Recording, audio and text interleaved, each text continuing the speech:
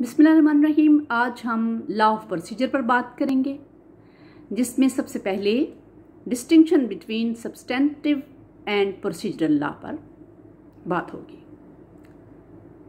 Statute law असली कानून और जब्ता पर मुश्तमिल होता है। असली कानून हकूक अता करता है और कानून जब्ता जो है, वो असली कानून के तहत हकूक हासिल करने का तरीका वजह करता है। मसलन अलिफ असली कानून के तहत एक दावा दायर करता है। अदालत दावे को फैसला करने के लिए जो तरीक़ाकार, यानी प्रोसीजर इख्तियार करती है, उसे कानून जबता, यानी लॉ ऑफ़ प्रोसीजर कहा जाता है। Elements of judicial procedure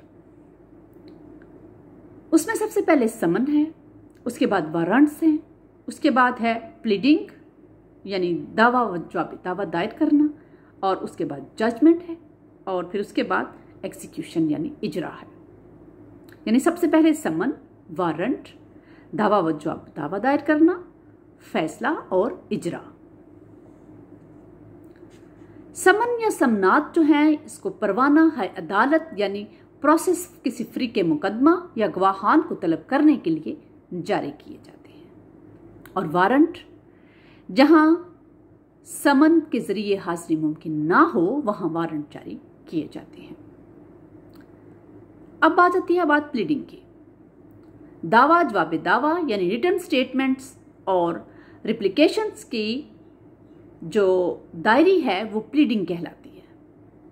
plaint और रिटर्न स्टेटमेंट के बाद इशू फ्रेम होती है। और जिस फ्रीक पर बारे सबूत हो, वो अपने मौकफ को साबित करने के लिए शहादत पेश करता है।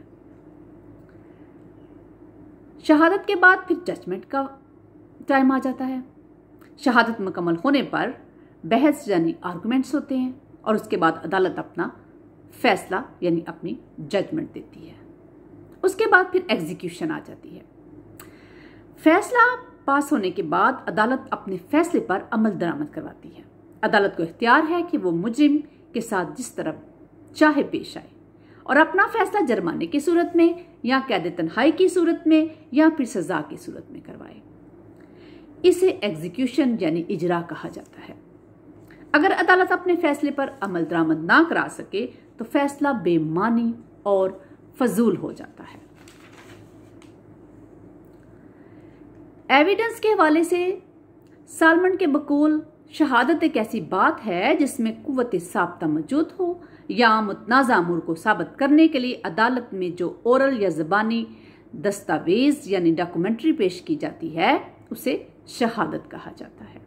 शहादत का वजूद बड़ा अहम तस्वर किया जाता है, क्योंकि शहादत ही ऐसा तराजू है जिससे मुजरिम को माफ़ी या सज़ा मिलती है और उसके बेगुनाह या गुनागार होने का पता चलता है। यूँ भी कहा जा सकता है कि जजमेंट्स यानी फैसले का सारा दारोमदार शहादत पर ही होता है। अब शहादत में कांड्स को देखते हैं। सबसे पहले judicial and extra judicial evidence है।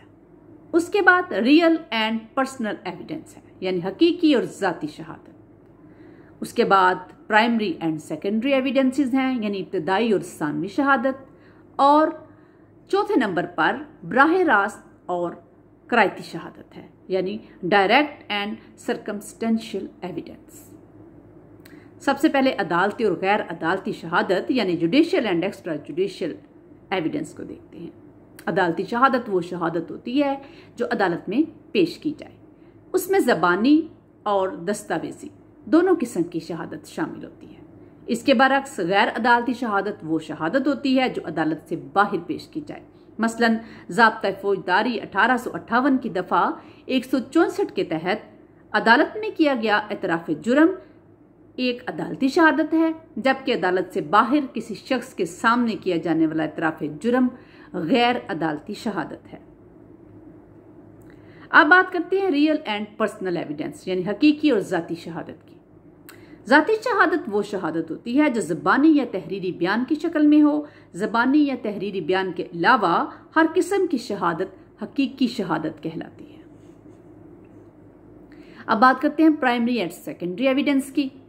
इब्तदाई शहादत वो शहादत है जो अपनी असल शक्ल में मौजूद हो और सानवी शहादत वो शहादत है जो असल शहादत दस्तियाब ना होने की सूरत में असल की जगह नकल की सूरत में पेश की जाए। मसलन, असल रजिस्ट्री मकान इब्तदाई शहादत है, जबकि उसकी नकल सानवी शहादत है।